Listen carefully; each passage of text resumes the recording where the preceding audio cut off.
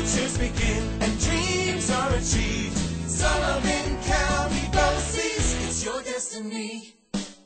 Everyone needs the right education, no matter what your age is. The future is waiting. When life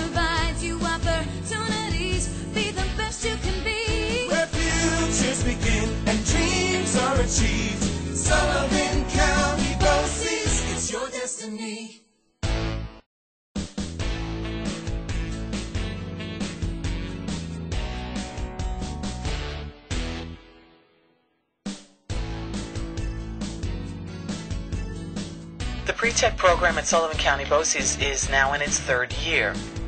The innovation of the program is a student-run business at the center, infused with 21st century skills, so that at-risk 9th and 10th graders get a half-a-day career in tech program that has applied academics, project-based learning, and differentiated instruction. The typical student in the pre-tech program is not part of a team or a club or an extracurricular activity. These are 9th and 10th graders that are considered to be at risk for dropping out. They're behind in credits, they're not at grade level, and they're disenfranchised. My name is Gerald Lum, and I've been in pre-tech for two years now. My home school is Liberty High School. I uh, originally went and started hearing about pre-tech in eighth grade, and they brought it up to me about doing two years here and then going to my full VOTEC class. And be, towards the end of ninth grade, I wanted to drop out, and pre-tech's the only thing that's really kept me here for you know coming to school, and that's basically my only only reason I'm still here. And I like the fact that you can go and do different modulars in uh, pre-tech, such as like culinary, auto mechanics, and all that.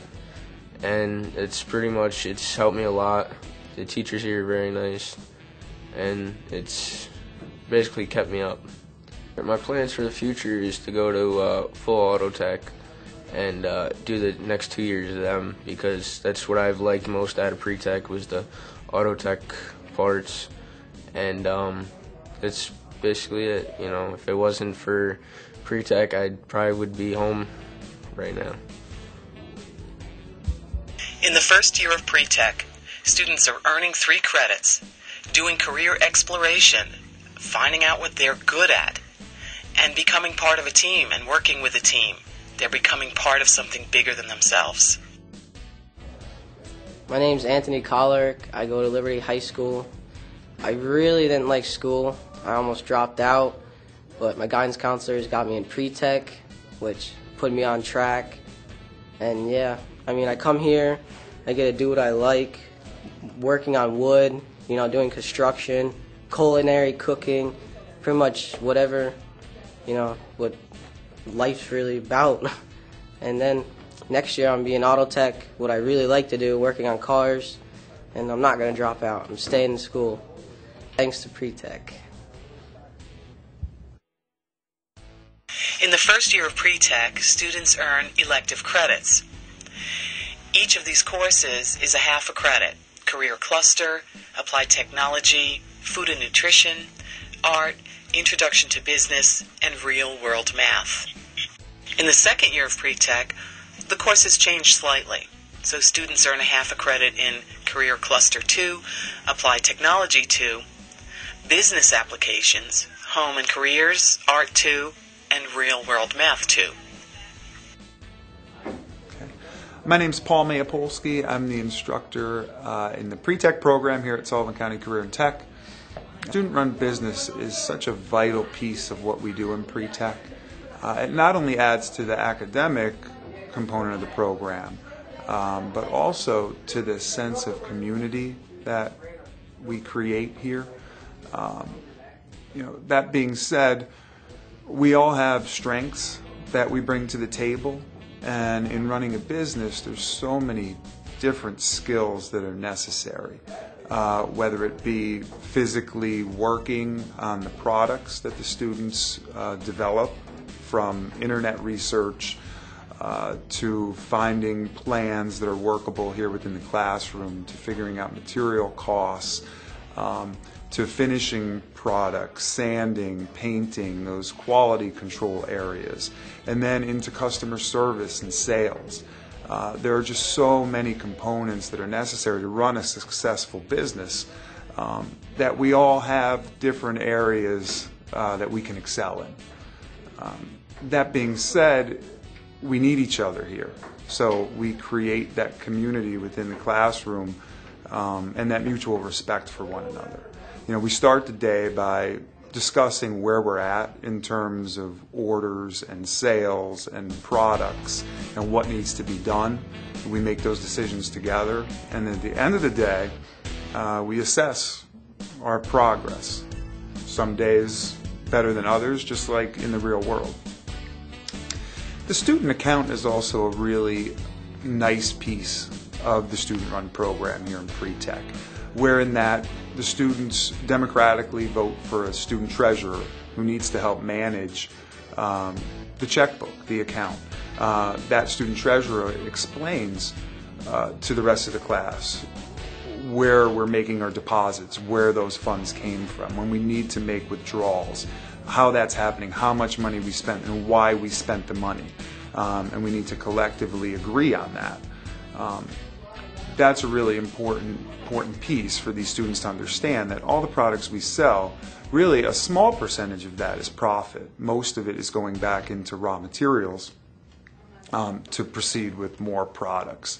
Uh, the profit that we do make, which is marginal, but the profit that we do make uh, goes into our account, and at the end of the year, the students democratically decide what they'd like to spend the funds on.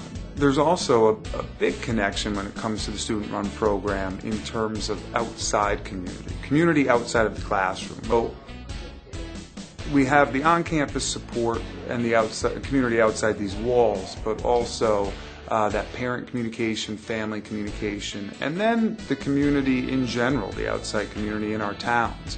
Uh, many of these students, uh, you know, we have to fill sales contact quotas.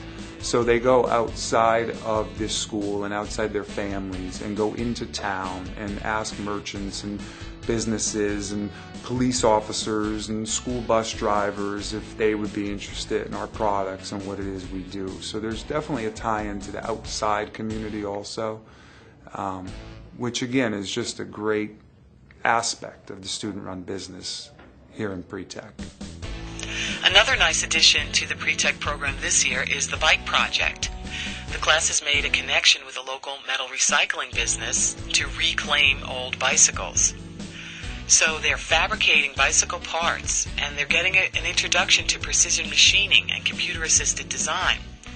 And through this element, they are refurbishing and repainting bicycles and then donating them to needy children They'll also be donating them to the Bike to Work program, which is an initiative of the local Workforce Development Board.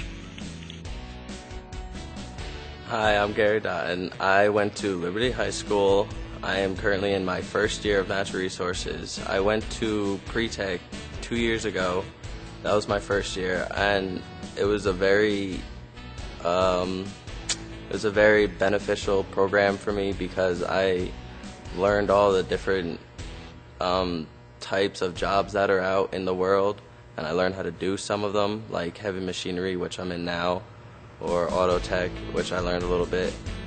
Um, how I got started in it was my counselor at my middle school. She said it was a very hands-on program, and I like that, so I wanted to go to it. Pre-tech was a very good learning experience for me, and it helped me get into my natural resources career in tech and it's going to help me in future years because I know this is what I want to do later in the years and it also helped me in my school attendance and it made me want to work more at school so I stayed up with my grades. So it was also good for that